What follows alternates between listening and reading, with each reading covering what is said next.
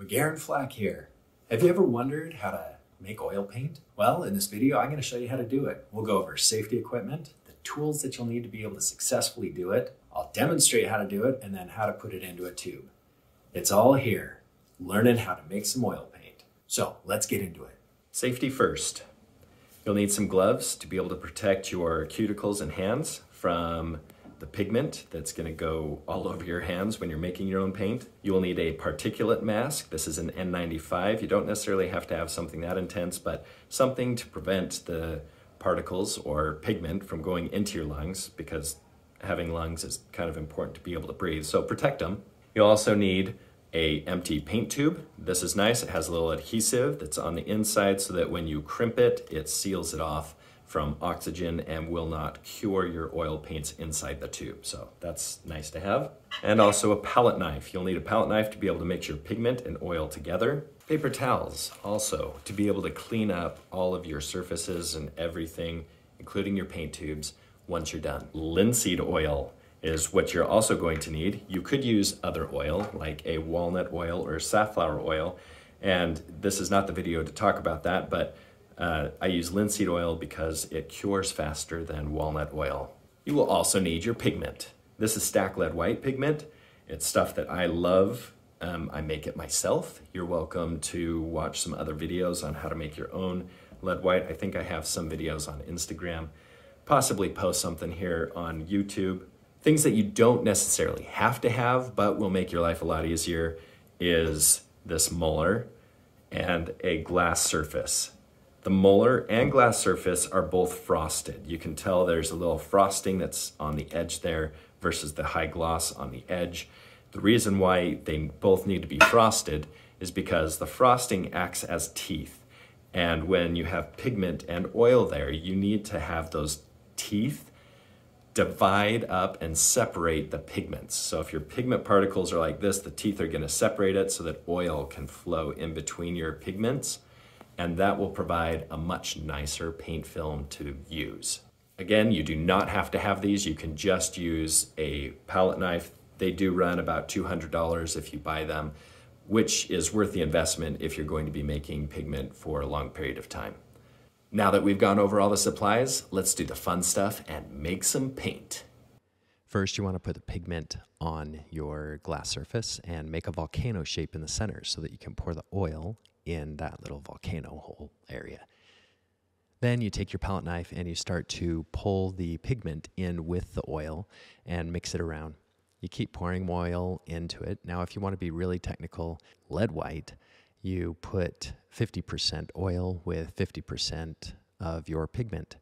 Certain pigments require more oil, other pigments require less oil. You just have to make your own stuff to determine how much you'll actually need. After you have it all mixed together and it's kind of cottage cheese like, then you can start to use the muller because that means that most of the oil has attached itself to the pigment and it won't become airborne if you're actually starting to mix with it. And you can see here how I slow it down in real time. This technically took me 30 minutes to be able to make, which is not much. I was able to fill 350 milliliter tubes. There's no real rhyme or reason for uh, twisting it, pushing it, pulling it. You can go top down, left, right, in circles. A lot of paint makers will do figure eight. I just push it around as much as I possibly can to try to mix it in.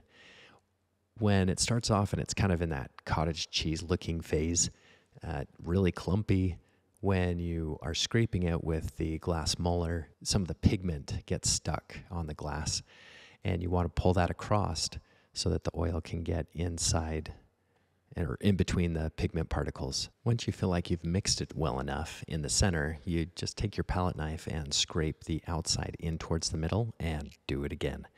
You want to continue to pull from the outside into the middle and push the muller around in multiple different directions so that you can disperse that oil into the pigment evenly. You'll notice, especially with lead white, that the more you mull it, the more wet the paint will actually become because it's getting more evenly dispersed. And once it gets to that point, um, if it gets too thin, and how do you know if it's too thin? It's when you pick it up with your palette knife and it like slops off. then you need to add more pigment like I just did right there. So it starts off pretty dry again because the oil hasn't gotten into that pigment, but I keep scraping it from the outside, pulling it in, and mulling it around.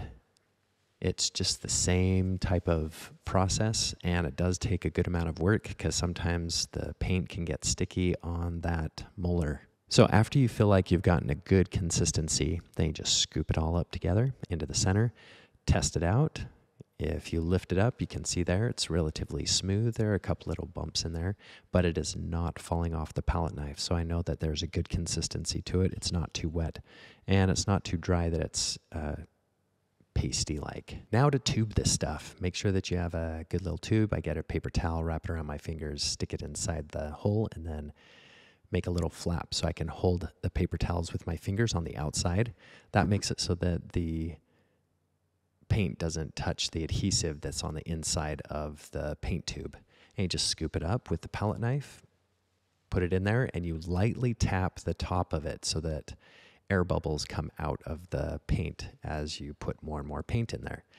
So it will level down to the tip of the paint tube. And you got to make sure that you get all of that oxygen out of there because oxygen makes the paint film cure, and um, you don't want it to cure because you want to be able to use it to paint with. So here I filled it. You can see that I don't have very much paint on the adhesive. And all I'm going to do now is crimp it. Make sure that when you fill the tube that it does not um, go too high. You want to have about an inch from the very bottom of the tube to where the paint is placed in there. If you fill it all the way to the top, you'll have paint go everywhere. So all you have to do is just crimp it with your hands. And then I get this nice little canvas plier, or you could get a tube roller and put it on it, press it down, crimp it, and remove the excess paint that is on the top.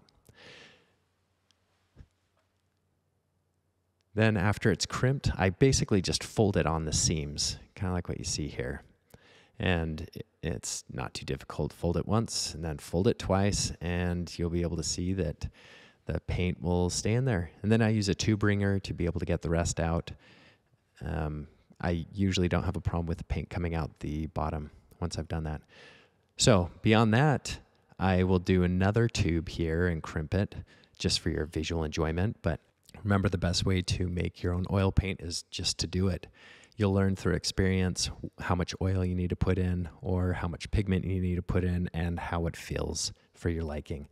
So I hope that this info was good for you. And Please leave a comment below if you think this blows chunks or if you think it was very informative. Either way, have a great day and happy painting.